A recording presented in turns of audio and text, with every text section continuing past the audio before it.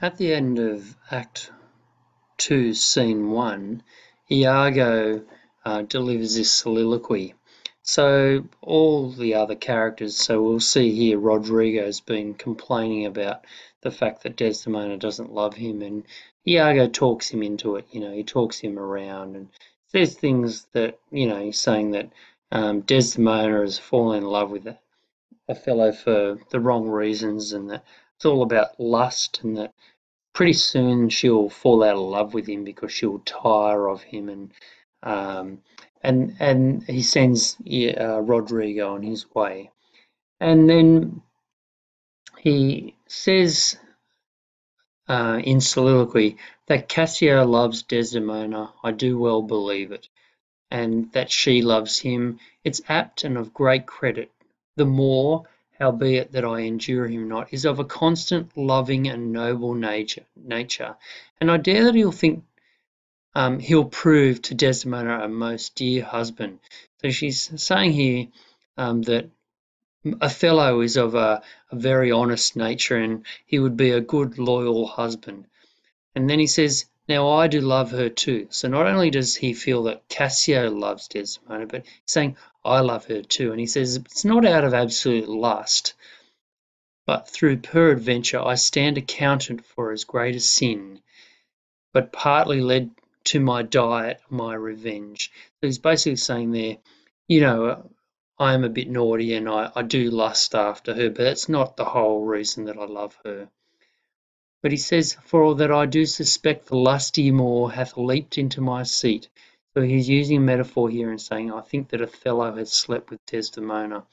The thought whereof doth like a poisonous mineral gnaw my inwards. So the nice simile here, he's saying that this, uh, this thought that Othello has cuckolded me, he's slept with my wife, it's like a poisonous mineral and it's gnawing away at me and nothing can or shall content my soul till I am evened with him wife for wife. So saying the only way I can seek revenge is by um, uh, making love to Desdemona. Or failing so, so if I can't do that, yet that I put the Moor in at least into a jealousy so strong that judgment can't, can't cure.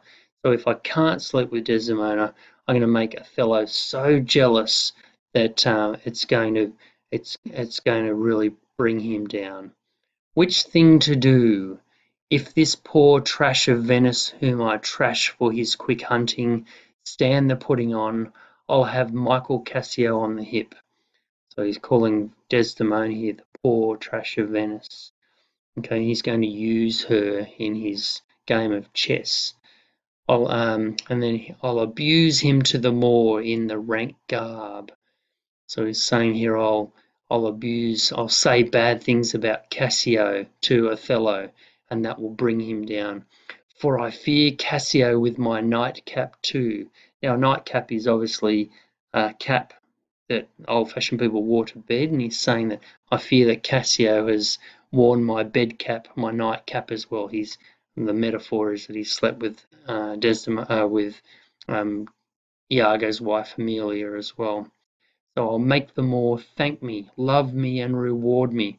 So I'm going to turn it to my advantage. I'm going to make Othello jealous, and he's going to thank me for bringing him down. He's going to reward me for making him egregiously an ass, an ass, and practicing upon his peace and quiet even to madness. Tis here, yet confused. So he's saying, I've got a plan and it's here. I'm just about there, but I'm not quite sure yet. And then he says, Knavery's plain face is never seen tin used. So he's saying there that I'm going to cause a lot of um, commotion and I'm going to cause a lot of discomfort, but I won't be seen until it's actually happened.